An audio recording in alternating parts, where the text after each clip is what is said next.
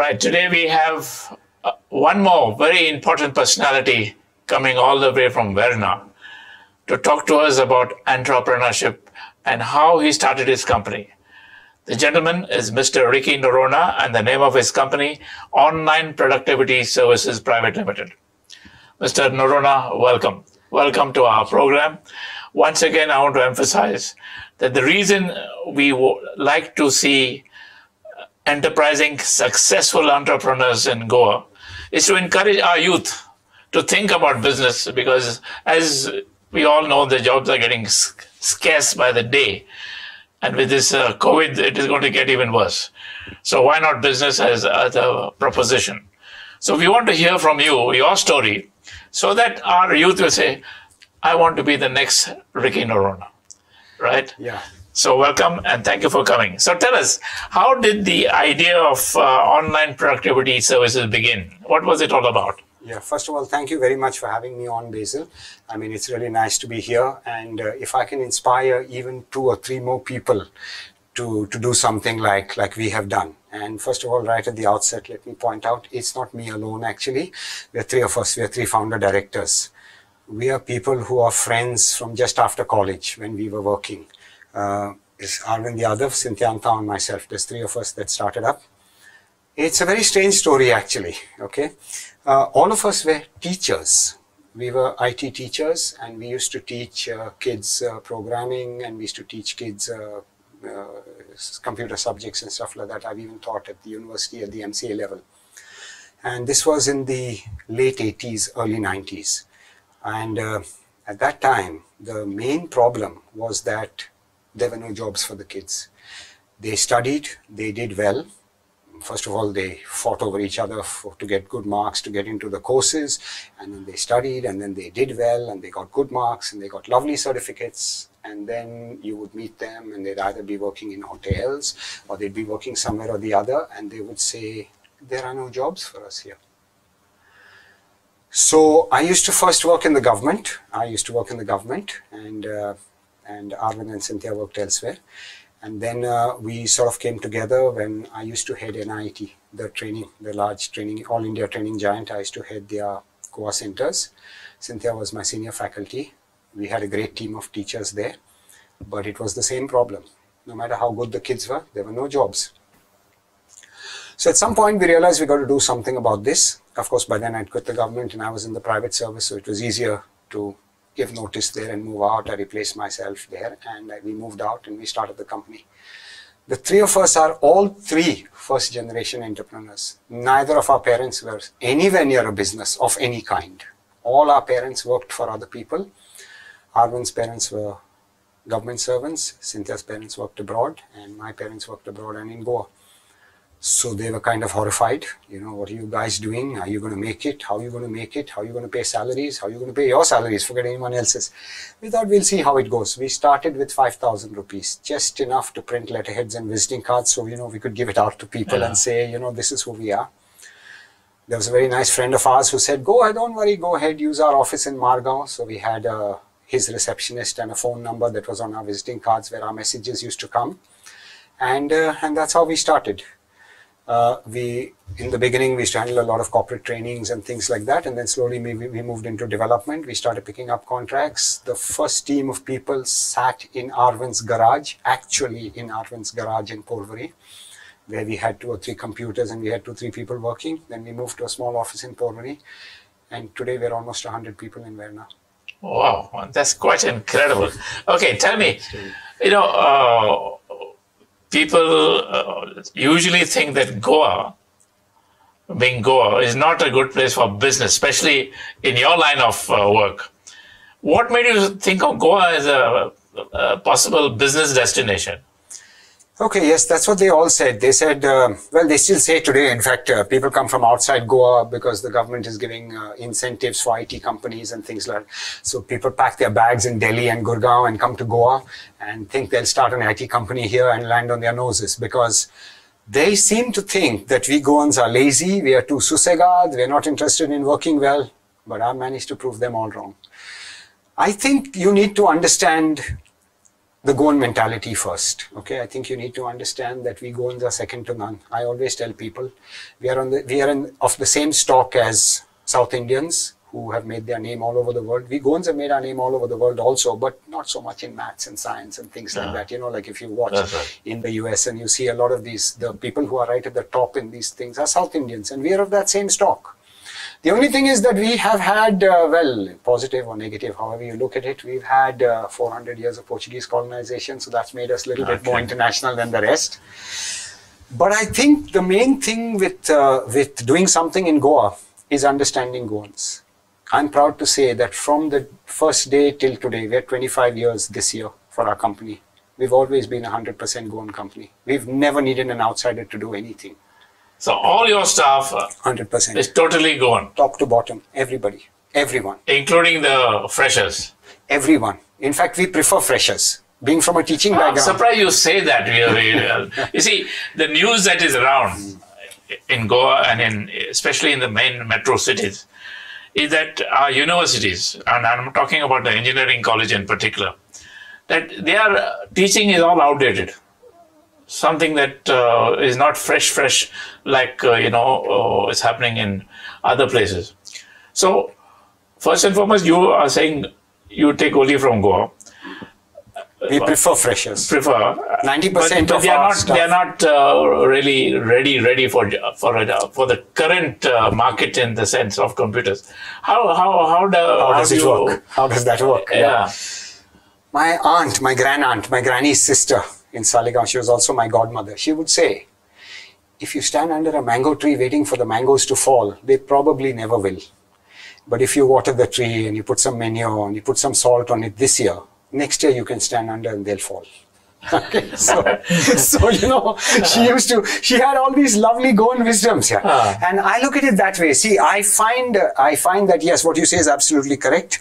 A lot of people, a lot of people tend to say that um, the, the, the quality of students coming out of the colleges and the university are rubbish. They have all outdated technologies. They don't know anything. Not true. Not true. They have all the theory. They have all the theory. It is up to us to teach them the practicals. Okay. It's up to us to get them to do what they want to do. And like I said, being from a teaching background, it just needs a little bit of guidance and a little bit of pushing. And the beauty about them is that they are clear, they are smart, they are willing to apply themselves. Sometimes someone with experience has all the wrong kind of experience. I find that. Okay. Grant about I grant you about the training in colleges and universities. I grant you that. But what about the nature of our personality? You know, there are people who come to work in some of the smaller establishments, and when you tell them that the office time is 12 hours, makanaka. Yeah, we had that also. Because I think we Goans are used to a little bit of the finer things in life. You know, we want to spend a little bit more time. We want to go out for dinner. The young kids I, I work with want to spend time with their boyfriends, girlfriends. Some of the kids I, I work with have boyfriend, girlfriends in places like Karwar and Mangalore. They want to spend the weekend there. So what we found, what works, is that uh, a work-life balance, as they call it abroad. We are one of the few companies in Goa that has a five-day week. We've had it for years now, so we work five days. Okay, uh, we do half an hour to forty-five minutes extra every day to make up for the fifth day. So Saturday, Sunday is always off. That's one thing. Then we found that even that was causing a problem sometimes because, like you said, uh, sometimes people can't make it on time or something. So now, in addition to that five-day week, we have what is called flexi time. They work 42 hours a week. Right, They work 42 hours a week. They can put in the 42 hours wherever they want, Ah. and it works perfectly for them. I have no Wow. complaints. I have no Okay. complaints at all. Now, uh, one of the things that I read in the Herald about your company was that you're really, really an international company in Goa. Your most of your business is international. Yes, we are. I have two questions in this regard. One is how do you get the business, and how do you operate uh, in terms of satisfying the client that whatever you have done for them is right? Okay, this is this is another thing that hit me right at the beginning. You know, uh, the the fact that we Goans have more of an international outlook than a national outlook. Sad but true. Okay, I mean I'm Indian. I don't have any doubt about being Indian, but uh, we can work better with international people than with Indians. You know, Yeah. the Indians will cut on every rupee and they'll bargain and they'll scream and they shout and stuff like that. So right from the beginning, what we started doing is we started looking for business internationally. In fact, one of the first contracts we did was for a Brazilian company. Okay. And when we did that contract, we realized that they fit in so well with us Goans, so well with us Goans. Our culture, everything, you know, just fits in perfectly. Even our work culture was like theirs. You know, I mean, when someone comes down from Delhi, he's going to bring his, bring his Delhi work culture to Goa. That's right. And he's going to, he's going to do stuff like he's going to assign people to a project and people are going to be doing that project with a long face. We don't do any of that. When a new project comes in, the staff will choose who want to do it. Yeah. They will choose. So when there is a team of six working on a project, there are no long faces because they've chosen to work on that project. The projects are kept open to everybody and people can choose who wants to do that All project. they right, can choose if they don't want to do the project. So when the client comes down and he says, why are you working on this project? And the team member says, because I chose to be on it. He's like, you get to choose a project here? And the team member tells him, we always choose our projects. And he says, aren't they assigned? And the team member says, no, never. And, and you know, the guy, the guy, he sees, he sees something that he likes. So what, hap- what, hap- what happened was that we realized that these international things, sadly, uh, uh, I mean, they don't work for the rest of India, but they work very well for us. Okay. For 25 years, I have handled business development for the entire company alone. We have no business team. We have no business development. We had no business development manager. I'm a technical person. And, and when everybody said I could sell things well, I would always tell them, I'm not selling. I'm trying to understand what you want and I'm trying to meet that need, you know. Right. I've never sold anything. So we, it actually it just works. I was looking at your brochure as in the in the on your website, you know, and it talks about gaming, social media, healthcare, travel, sports, entertainment. You do everything. We do everything. We are a services company. Ah. Okay, it's like when you go into a restaurant, uh, the restaurant should be able to serve you Chinese, Italian, continental. It could give you American pepper steak as well as it should be able to give you Goan charcuterie. Right. So we are like that. We viewed it that way. And we have separate teams that handle it. Ah. It's not like everybody has to do everything. And that again, they get a chance to choose. We've actually had people that joined one team and shifted to another team and another team and another team and did a full round of like four teams in the company for their own satisfaction. So it's, it's not impossible. It's like a cook, you know, cook cooks Chinese and then somebody shows him how to do Italian and with a little bit of shift of change, he can do Italian. Right, right. So it's the same thing. The business, the business side is Okay. little different. Leading to this uh, thing is, say, a guy who's Yeah. a Yeah. fresher, Yeah. works with you, say, three to five years. You pay him reasonably well. Uh, he has now learned all the tricks of the trade. Do you have a, a dropout problem? People leaving the company. We don't call it a dropout problem. What do you call it? I'll tell you, that's another thing we look at differently. We were started as a company to provide Goan jo- Goans jobs. Okay, that Oh, was my main intention, and I think I've very well fulfilled that. Because if you look at even Glassdoor and all the other sites where uh, where where employees put up their feedback, they say it's one of the best places in Goa for a first job, and that was always my intention. Because, like you said, there's a bit of a gap between the training and the praxis. Yeah. Okay, so that gap is what we are trying to fulfill. So people come into us out of the colleges, we train them up, they become really good and productive. If they stayed forever, I couldn't give other people jobs. I want them to move. I like that. I like that. I need them to move. So what we do is so when you're someone very altruistic in your thinking. no, I'm not altruistic. I'm a little bit crazy. Good crazy. No, it's fantastic. if, if you, I need want, them if to you move. want people to leave who you're let me tell you. Yeah, let, let me tell you how this works. Let me Ah, tell you how it works. ah. It works like this. When they join us, I always tell them, see, if you're looking for a job in Bombay, Bangalore, Pune, or something like that, please go now and take that job, you know, because I need a, a two year commitment from you, just two years. It takes me six months to train you up. It takes you six months more to be productive. And in the next one year, you'll be handling everything. Once you get to that stage, then I would like you to look for something else. I would like you to go abroad. You're young, go see the world, come back, bring chocolates for everybody. Every week we have chocolates in the office. Somebody or the other is visiting again. So we actually encourage them to move with three caveats. One, when you're moving, please tell us. Don't get up one morning and say, I cannot come from tomorrow because that leaves the project in a lurch. Two, somebody trained you, train the next guy. Few days hand over to him. Show him how to do.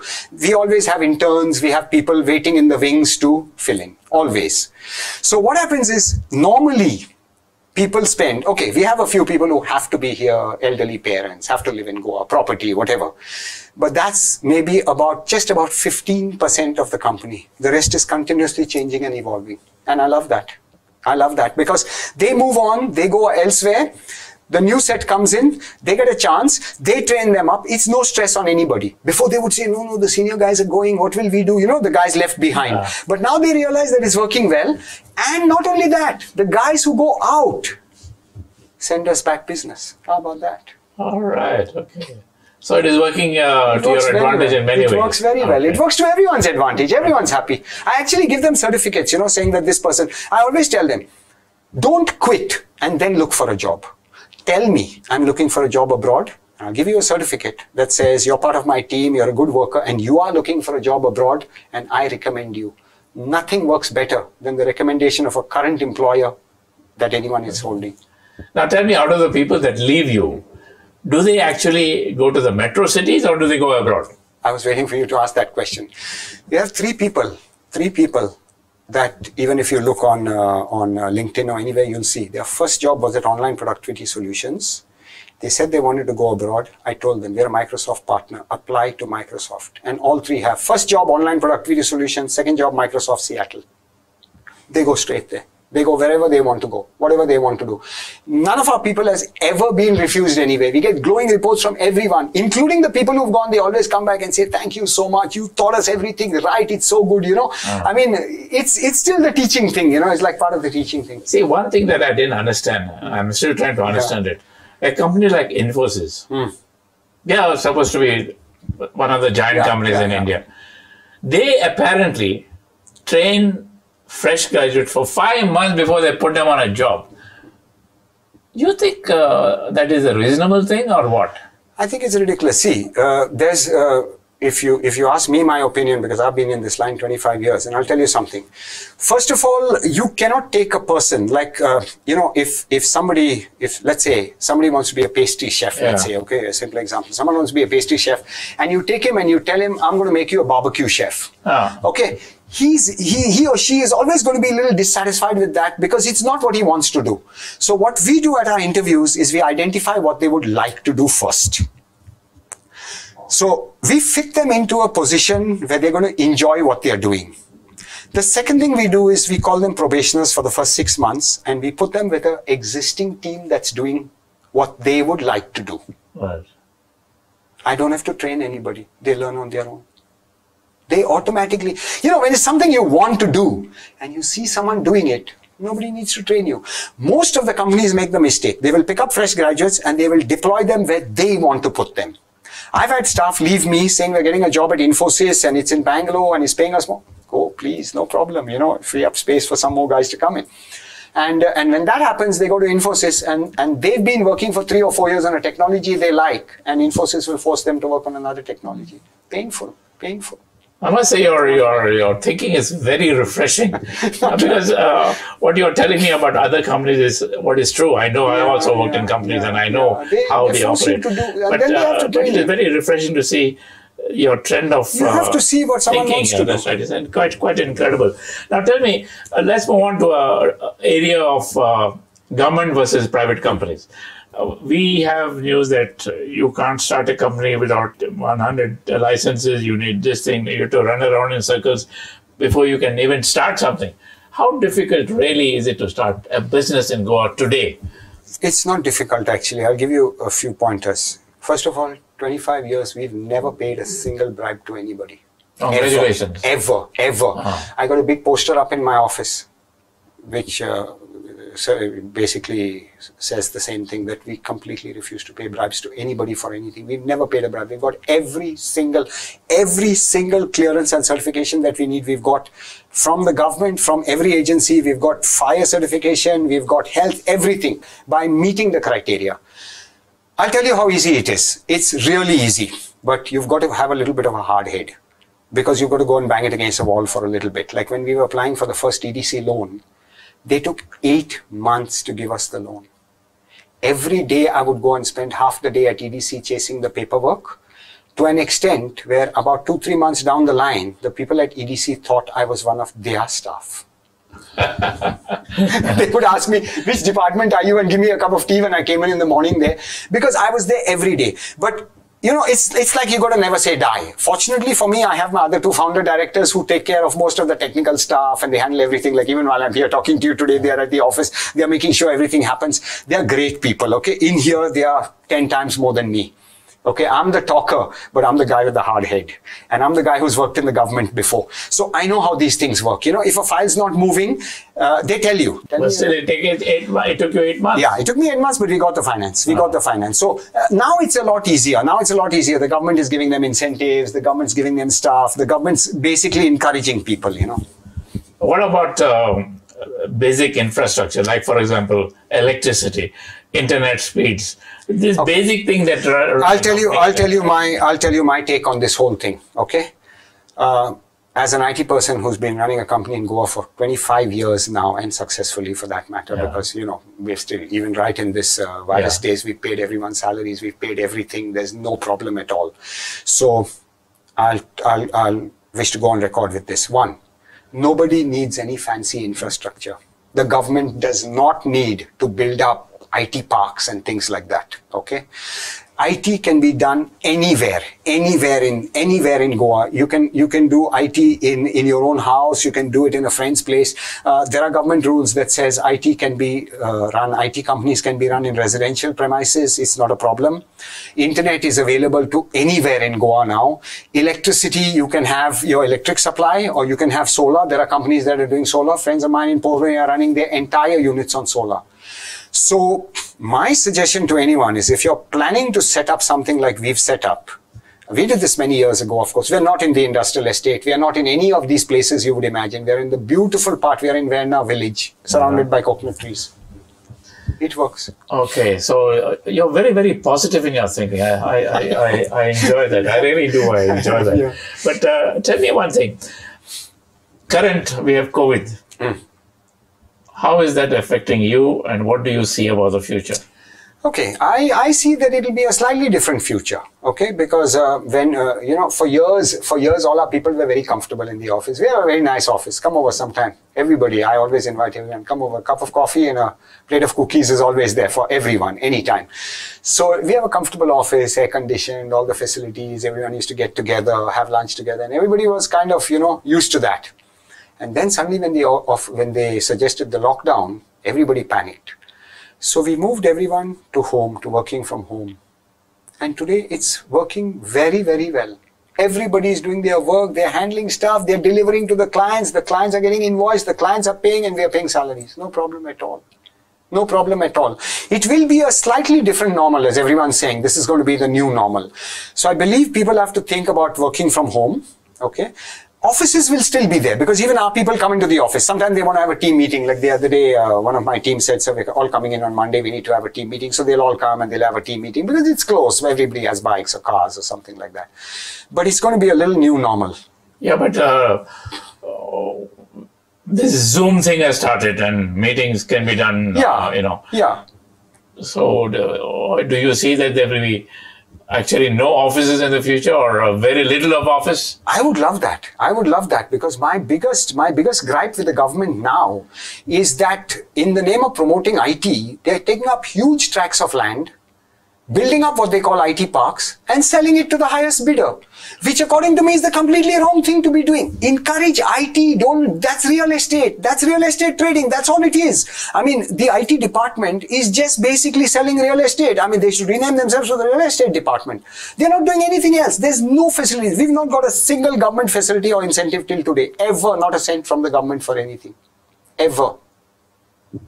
So, what are you're really telling me, if I can understand you right, is that the government the government says in the press Yeah. that it is promoting business, this thing, that thing, that thing. What you're really saying, it is doing nothing.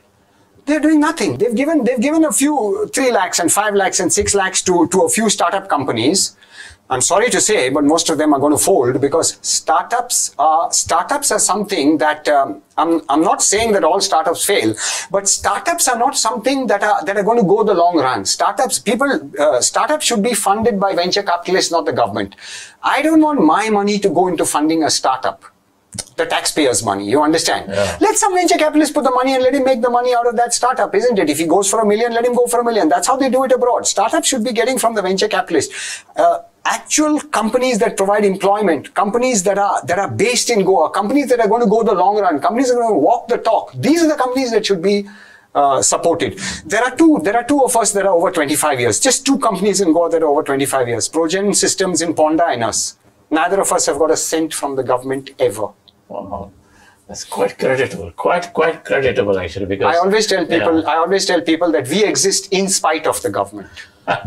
you know, I mean that's that's what I normally say. Okay. One last question. Sure.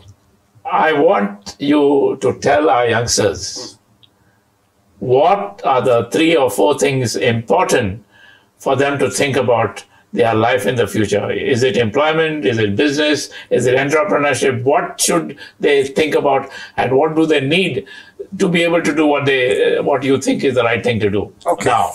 Okay. I've done all of these. I worked for the government, so I was an employee.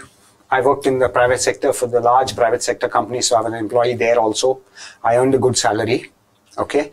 But I think at the end of the day, the main thing you need to think about when you're looking at your life in general is about making some difference. You know, there's this saying, of what use having lived if you've made no difference? You might as well have not lived, isn't it? What's the point? What's the point of me having lived? I lived, I bought a car, I bought a house, I lived, I had kids, I did this, I did that, I did that. Did it affect anyone else? No. Did it make a positive difference to anyone? No. You Might as well have not lived, no? So The I, so- me, and myself concept is wrong. So yeah, so my thing is that look at what you can do for Goa. I mean, I've always thought of this, you know, and in the bargain, it's if it's something like I look at a couple of things. One, what does Goa need? Do you like doing it? Okay, like I liked IT. Okay, I'm, I'm originally a mechanical engineer, but I loved IT. So I thought, okay, let me get into IT. Can I do something for Goa? I could have just started a small IT company where I looked at making a profit. Incidentally, in 25 years, we've never shown a profit. We don't intend to. We never will show a profit. The money just goes back into the company or the people. We've never shown a profit. Never will. How about that? All the founder directors are on a salary. Okay. All of us are on a salary, just like everybody else. We're all professionals in the company. So Everybody does whatever job. comes excess, you give as a bonus. No, we don't. We make sure there is no excess because everything goes into back into the people or back into the company. Better equipment, better facilities, better this, better that, better that, whatever. Okay. So you invest And then of course, in. Uh, yeah, and then of course salaries go up and stuff like that. Right. Okay. So uh, would you say that uh, in the in the private sector, in the private sector in, or in the IT Hmm. Yeah. business, you're one of the best paying employees uh, in Goa? maybe not maybe not the best paying because uh, there are there are uh, you know to be able to pay to be able to pay very high salaries like the guys in the metro do you have to be able to reach out to the high paying jobs and uh, okay. and you have to be able to pull in that kind of business till now we've not been able to pull in that high paying type of business we pull in like the mid range you know we deal with the smb segment you know the small Okay, and medium yeah. businesses so so they I, i'm not i'm not doing any work for lockheed martin or i'm not doing any work for boeing or anything like that. But if i got that kind of contract oh i pay better than the better than the other guys. Alright. but but what we are doing covers everything well.